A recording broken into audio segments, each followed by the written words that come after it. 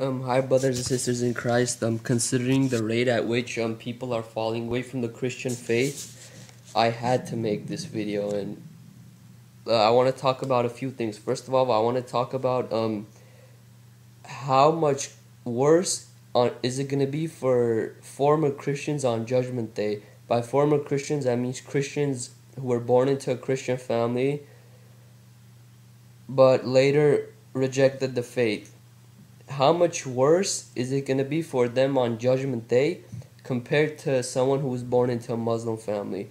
If you're born into a Christian family, you're born into a Christian family.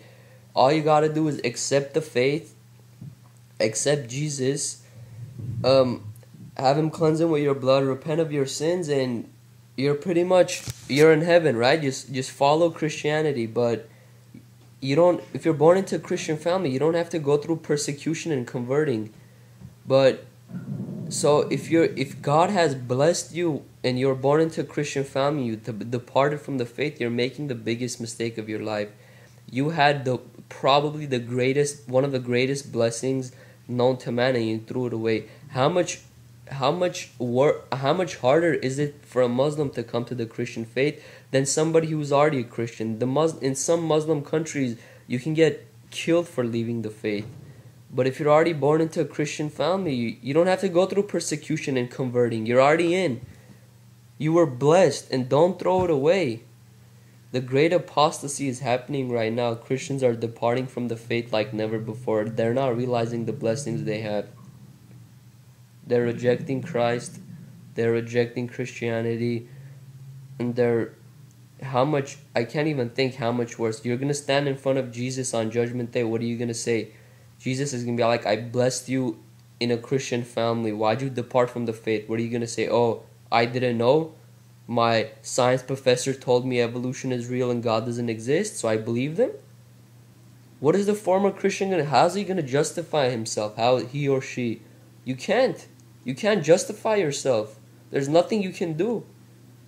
God blessed you and you and you rejected his blessing, you threw it away. I can't even begin to imagine. I mean, all the what if what if the Muslims that were born in a Muslim family, what if they could have been saved if they were born in a Christian family?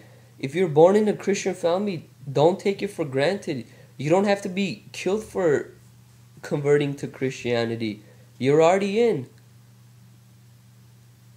Wow. It I mean, these people and then I feel bad and then for some reason talking to former Christians I feel bad for them, but then I realize they sealed their own fate.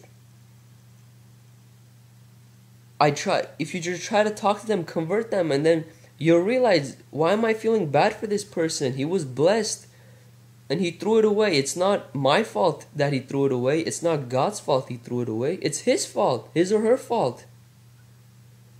I mean, what if a Muslim that was born in his place could have been saved? Wow the people are throwing their blessings away. It's it's crazy. It blows my mind. And it's ironic the number of christians i personally know like personally concerning family friends not like um the youtube community. I mean i know so many great christians on the youtube community and i'm truly blessed to be part of this experience. But uh, speaking personally i can count the number of christians i know on my right hand I mean, number of Christians I know that were born in the Christian family, and but they're not Christian. I can count how many actual Christians I know that were born into a Christian family and they're still like Christian. I can count them on my right hand. That's scary. So, if you're not a Christian anymore and you were truly blessed to be a blessed to be born into a Christian family, there's nothing you can say on Judgment Day that will justify you you throw away the great greatest blessing in your life. How much worse is it going to be for you than all the other people that weren't born into a Christian family? These are questions you seriously need to start thinking about if you're departing away from the Christian faith. Wow. And also in the description box of this video, I have a message. Please do anything you can to spread that message to warn the people. If it if it wins one soul to the kingdom of heaven, glory to God. If if the time you spent on copy pasting that message was a waste of your time, so be it. What did you lose? Nothing. You lose. You lost a couple of seconds.